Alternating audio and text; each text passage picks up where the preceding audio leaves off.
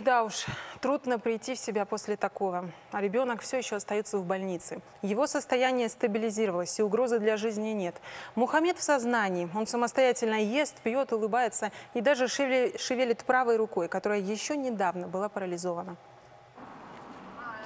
Но говорить ему пока тяжело. Медики добавляют, что ребенку нужно окрепнуть. Они не могут сказать точную дату выписки и не знают, станет ли четырехлетний Мухаммед инвалидом. Ясно одно. После выписки мальчик всю жизнь будет на учете у невропатолога.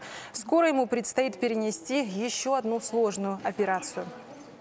Надо будет сделать пластику черепа. Его кость у нас хранится. Она законсервирована по методике, э, которая, кстати, разработана была в нашей клинике много лет назад. Э, Она хранится, и э, мы ему сделаем череп. У него голова будет внешне выглядеть нормально. Ну, за исключением послеоперационного шрама.